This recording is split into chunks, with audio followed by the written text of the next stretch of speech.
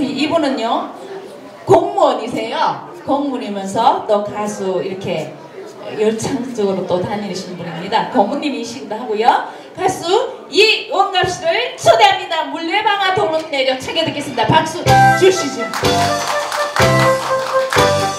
여러분 안녕하세요. 평안하십시오. 한정한 노래 추억의 노래 유명한 노래들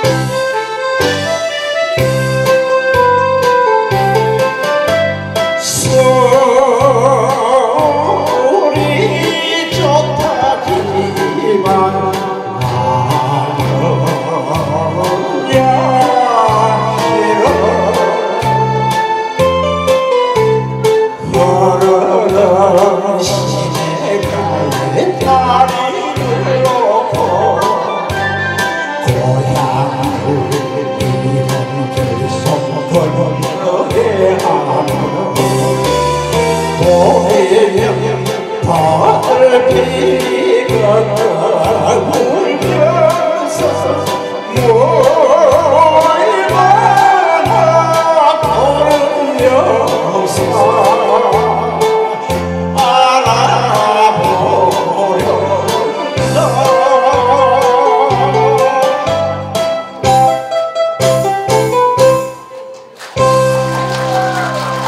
감사합니다.